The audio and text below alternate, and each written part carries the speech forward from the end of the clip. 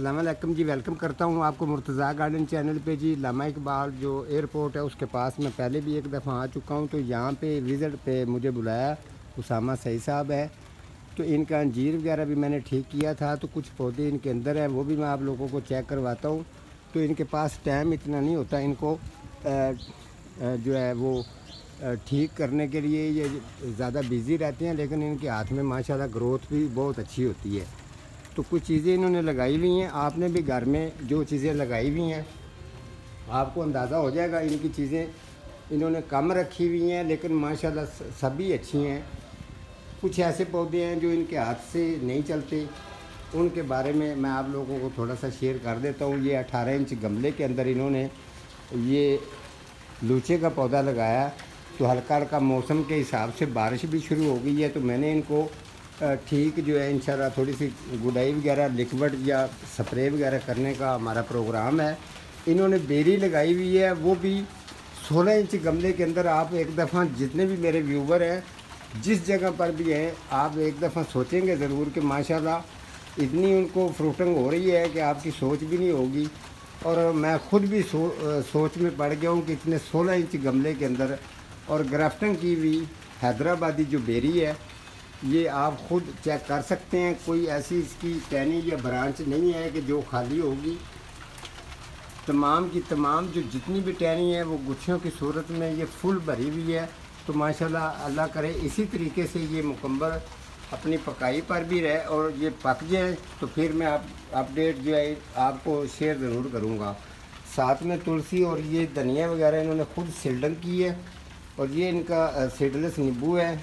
अगर आपके घर में भी है तो इस जैसी कंडीशन है तो उसकी कटिंग आप करें। कटिंग करने के बाद आप गुडाई करें तो इंशाल्लाह इसका रिज़ल्ट भी ठीक हो जाएगा। ये रात की रानी मैंने इनको दी है, और ये साथ में धनिया कुछ इसके अंदर, एक दो पौधे थे, वो भी इनके डेड हो गए हैं। तो ये इनकी भी थोड़ी सी कंडीशन देखते हैं, लेकिन ये बिल्कुल जो है, खुशक हो गए तो ये जामुन का पौधा जो इनका है, ये थोड़ा सा इसके अंदर है एक वजह आ रही है लेकिन ये आपको भी बता दूँ कि ये 16 इंच गमले के अंदर है। 14 नहीं है 16 इंच गमले के अंदर है। ग्रोथ इसकी भी ठीक है। आपने मेरा रात की रानी का प्रोग्राम देखा होगा। जी अगर आपके घर में भी जामुन अगर गमले के अंदर है तो जेन में रखें। इसको गमले ट्रांसफ़र करने की ज़रूरत है। जब इसके अंदर गमले की इसकी जड़ें वगैरह फुल हो जाती हैं तो उसके बाद जो है आ, उसके बाद जो ये होता है ये जो आप देख रहे हैं ना, ये टहनी है। ये आपको नज़र आ रही होंगी। ये बिल्कुल जब इसकी जड़ें गमले के अंदर फुल हो जाती हैं, अभी इसका गमला फटने वाला हो चुका है। जड़ को कोई चलने की कोई वजूहत ही नहीं है। जब इसका गमला ट्रांसफ़र करेंगे, इसको कटिंग कर देंगे तो माशाल्लाह दोबारा से इसकी जो जड़ें हैं आलूदगी वाली डेड हो चुकी हैं, वो जड़ें मैं इनकी उतार दूँगा। उसके बाद इसको दोबारा लगाऊँगा जामन। इस तरीके, जिस तरीके मैंने अपने जामन का प्रोग्राम किया था तो ये जल्दी जो है ये फल पे इंशाल्लाह आ जाएगा। और ये जो लूचे का इनका पौधा है, जो छोटे छोटे एक आलू बखारा होता है, एक आलू बुखारे से थोड़ा सा छोटा होता है लूचा। ठीक है? तो ये इसको अभी सही साहब का कहना ये है कि आप इसको ज़मीन के अंदर लगा दें। ये मैं इसको ज़मीन के अंदर ट्रांसफ़र कर दूँगा। इसकी अपडेट जो है इंशाल्लाह ये मैं अगले प्रोग्राम के अंदर ज़रूर शेयर करूँगा जब इसको गर्मी के अंदर जब इसको फ्रूटिंग होती है, उस वक्त भी आके आप लोगों को इसका रिज़ल्ट वगैरह चेक करवाऊँगा। और साथ में ये वाला जो है बेरी में ज़रा आपको दिखा दूँ, फिर भी ये चेक कर सकते हैं। ये बिल्कुल जो है, गमला सोलह इंच का गमला है, ये देखें। और इसके अंदर वाटरिंग की जगह बिल्कुल भी कम है, लेकिन इसको फ्रूटिंग अगर होती है, इसकी वजह क्या है? क्योंकि ये सही साहब खुद भी जानते हैं क्योंकि इन्होंने इसको बिल्कुल जब से ये लेके आए तो सही साहब जब आप लेके आए थे इसी जगह पे रखा है ना इसको? हाँ जी। ठीक है जी।